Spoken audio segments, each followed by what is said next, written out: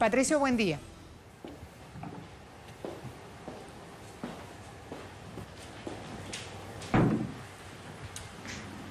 Yo veo en la imagen previa y quiero ver si me escucha. Patricio, ¿puedes oírnos? Creo que no porque se bajó el teléfono. Vamos a recordar la pregunta en Twitter, si esta crisis sanitaria que se vive en Sudamérica es herencia de los modelos económicos neoliberales. Hablamos de Macri, hablamos de Piñera, hablamos de Yáñez, de Bolsonaro, modelos aplicados en la región. Cuando vamos a ver números actualizados es importante también chequear el mapa de cómo están esos contagios, porque hay otro punto que es importante de conocer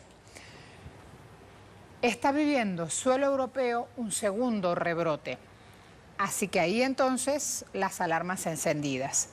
Y en la jornada del 17 de noviembre, en el día de ayer, también nuestra casa periodística muestra la información de que Brasil cerró fronteras terrestres y marítimas por la COVID-19.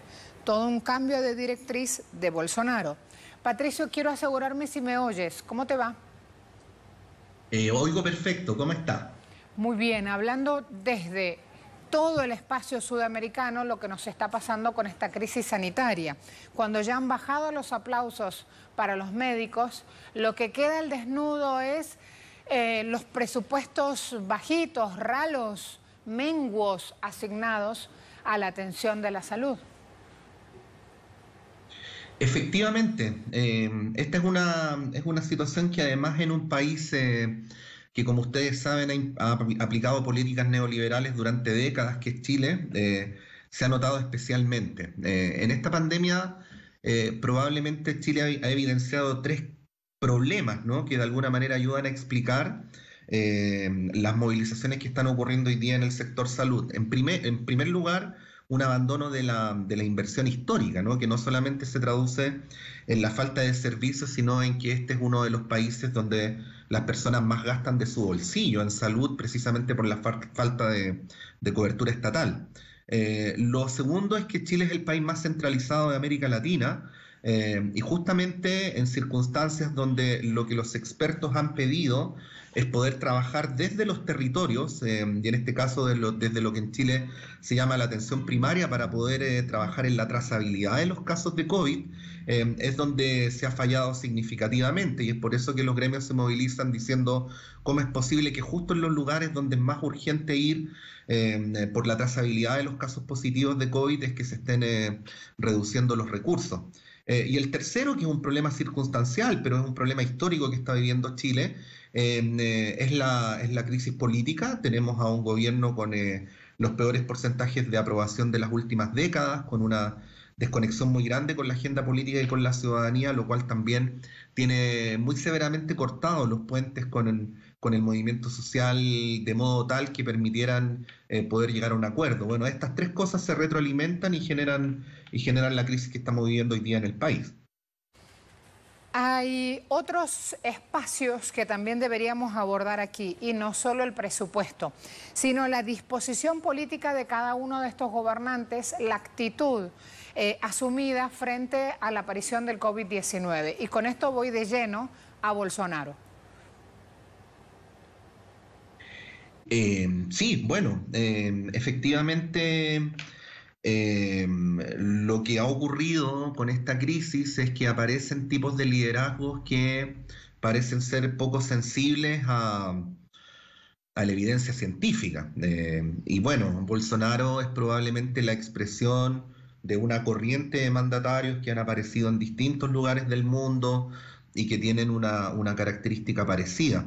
Eh, es muy complicado pretender ejercer el poder cuando se cuando se niega la evidencia, ¿no? Cuando, cuando se niega la, realidad y se incurren actos que efectivamente son, son irresponsables. Yo creo, si uno mira lo que ha ocurrido durante este año en, la región, y esto incluso trascendiendo a las eh, habituales definiciones de, o de separaciones de carácter político ideológico, eh, que los liderazgos que han podido sortear con mayor éxito eh, una situación como esta o con menores perjuicios, son aquellos que han sido más empáticos, que han tratado de escuchar a la población, que han tratado de conocer y ver el lugar donde están gobernando. El caso de Bolsonaro es un caso ejemplar de alguien que con un discurso muy ramplón llegó a la presidencia, pero que no necesariamente conocía el país que aspiraba a gobernar.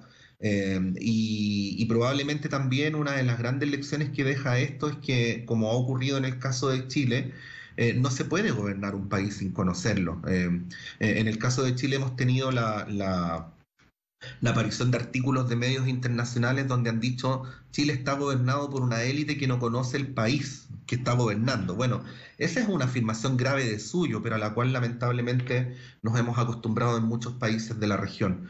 con el estilo de Bolsonaro, ese estilo desaprensivo e irresponsable, probablemente lo que tenemos en la la expresión más lamentablemente radical eh, de estos vicios que estamos describiendo. Y ahora sí vuelvo a Chile porque desde aquí, desde Latinoamérica, hay escasa o nula información sobre este portal noticioso y este tema que voy a poner en pantalla. Eh, a ver, The North Post es quien sube la información a Twitter. Denuncian que Piñera está detrás de la mayor estafa a los fondos de AFP en Chile. Y cuando hablamos de AFP en Chile ya nos, nos referimos a las dos oportunidades de retirar el 10% de lo ahorrado en este sistema de jubilación privada, que es obligatorio en Chile porque no, no se puede optar. Y también vamos mostrando entonces esta, esta publicación con esta denuncia. Se denuncia que es la mayor estafa a los fondos de AFP en Chile bajo una operación completamente ilegal entre, y quiero asegurarme que me escuche el invitado, a ver si esto es así, entre Habitat, Moneda SET e ILC, triangulando los ahorros de los trabajadores para comprar AFP Habitat. ¿A qué quiero llegar con esto, eh, Patricio? A que aún en plena pandemia los negociados siguen apareciendo. Y en Chile la AFP es una caja negra, definitivamente. Sí, eh, voy, a, voy a tratar de, explicarlo de la, manera, de la manera más resumida posible porque este es un tema largo, pero, pero creo que es importante que se entienda lo siguiente. Las AFPs son en Chile los únicos entes que em, recaudan y administran los ahorros previsionales de los chilenos y chilenas. Este es uno de los pocos países en el mundo que tiene un sistema exclusivamente de capitalización individual donde el Estado prácticamente no, no prácticamente no tiene ninguna participación. Esa es la primera anomalía. Lo segundo, y que probablemente es lo más grave, es que las AFPs concebidas en dictadura fueron concebidas de manera tal que la ley les permite invertir los ahorros previsionales de la población en eh, determinados proyectos de inversión. Con esto se ha producido una trenza porque en términos estructurales eh, los expertos han llegado a la conclusión de que la principal función de las AFPs en Chile no es eh, recaudar ni administrar jubilaciones, sino capitalizar los grandes grupos económicos del país. Las eh, principales fortunas del país o los principales grupos económicos del país, todos ellos reciben aportes multimillonarios de las AFP para poder financiar sus proyectos de inversión, con lo cual se genera una trenza de poder que hace prácticamente imposible eh, poder modificar el sistema. Se produce una trenza en la cual el gran empresariado, la política financiada por el gran empresariado, eh, de alguna manera se articulan, y por supuesto también los medios de comunicación, para que finalmente ese cambio que anhela la gran mayoría de la población no se produzca. Durante este año ha habido dos proyectos de ley que son muy importantes porque son históricos y además han sido promovidos por parlamentarios al margen de la voluntad del gobierno, para que las personas puedan retirar el 10% de sus ahorros previsionales para poder eh, enfrentar la, grave situación social derivada de la pandemia. Eh, esta es una, es una cuestión em, grave, digo yo, en ningún país razonable del mundo eh, una persona bien intencionada o progresista estaría de acuerdo con que se recurra a las jubilaciones de las personas para, para financiar una crisis, pero en el caso de Chile el, el, desamparo del Estado hacia la población ha sido tal que la gran mayoría de la población ha aprobado. Em, sin embargo, durante este año, y a pesar de que ya ha habido un primer retiro del 10% de los ahorros previsionales, eh, las eh, ganancias de estas AFP fueron eh, multimillonarias. Em, y voy a decir algo más. De las seis AFPs que operan hoy día en Chile, tres son de propiedad estadounidense. Entonces, finalmente, los fondos, los ahorros previsionales de los trabajadores y trabajadoras chilenas, terminan alimentando negocios estadounidenses y no necesariamente contribuyendo al bienestar de la población. Es por eso que esta evidencia, que se fue alarmando lentamente por décadas, indigna tanto y es probablemente por eso que entre las muchas demandas que tiene el pueblo de Chile hoy día, el tema de un nuevo sistema previsional se convierte en una de las más importantes. Hablamos de que este sistema existe. La denuncia que está poniendo The North Post habla de que esta triangulación que hacen es totalmente ilegal. ¿Por qué? Porque Habitat invierte los ahorros ciudadanos de los fondos de pensiones de Habitat en fondos de la moneda. Luego moneda invierte en ILC, en Inversiones La Construcción. Ese es el nombre de la empresa. ILC a su vez es dueño de Habitat. O sea que con los ahorros de los trabajadores que están cotizando en Habitat, compran directa o indirectamente eh, AFP Habitat y esto está prohibido por la ley. Controlan dónde se invierten 60 mil millones de dólares. ¿Por qué quise preguntarte esta información, Patricio?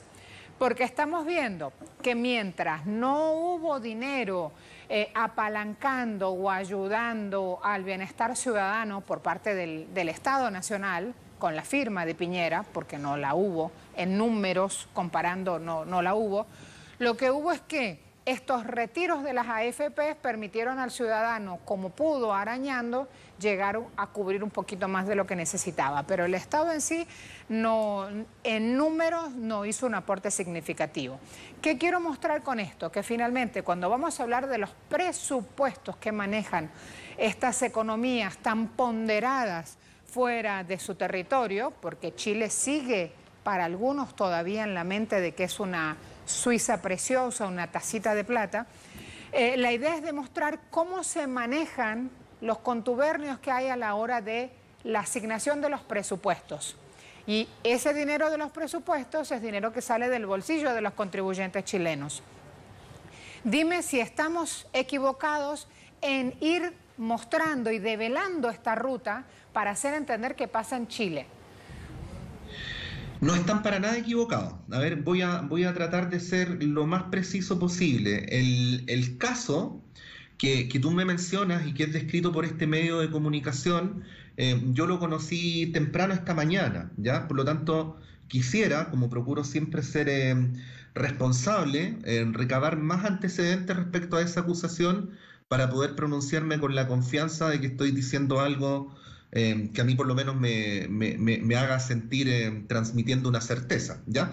Pero dicho esto, lo que yo sí puedo decir es que la especulación financiera eh, es una de las características em, del gran empresariado en nuestro país y además es una de las situaciones por las cuales se ha criticado mucho en el tiempo previo al que ejerciera como presidente de la República al eh, actual presidente Sebastián Piñera.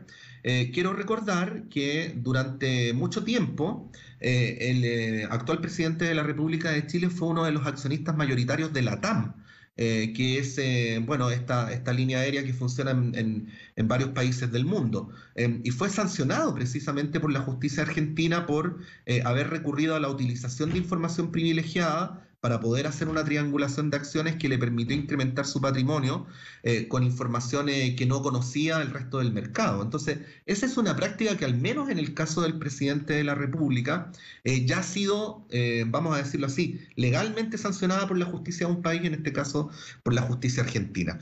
en el caso de Chile, esta es una, es una actividad que frecuentemente ocurre. Muchos de los escándalos financieros de los últimos años tienen que ver con esto, con la triangulación sobre la base de la utilización de información privilegiada, pero además es especialmente sensible en el caso de las AFP y muy especialmente en el contexto que estamos viviendo. Eh, es una situación que, moralmente no, se entiende ni se puede tolerar, eh, precisamente en circunstancias en las cuales la gran mayoría de la población eh, lo está pasando muy mal. Tú, tú, te referías a, Chile como, como, este país que hasta hace poco vendía esta imagen de ser una Suiza. Bueno, este es uno de los países más desiguales del mundo.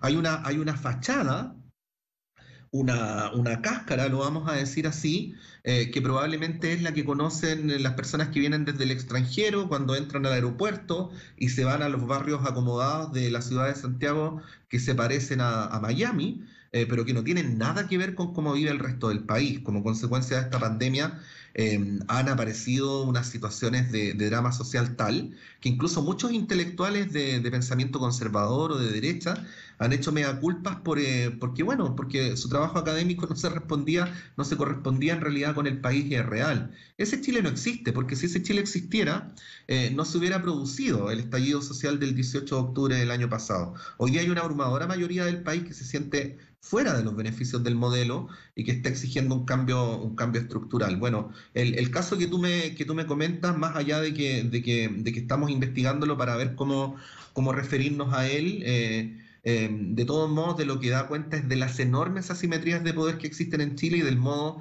en que tenemos que es transversalmente considerado rentista eh, y que en vez de innovar, en vez de, aportarle al país innovación, conocimiento, eh, en fin, eh, lo único que hace es aprovecharse de la situación cómoda que le da el modelo, porque buena parte de los mercados además en Chile son oligopólicos, es mentira que en Chile existe la, libre competencia, y de esa manera terminar estrujando más la riqueza de la nación y agudizando las desigualdades en Chile. Patricio, muchas gracias. Hasta la próxima. No, muchas gracias. Que estén muy bien.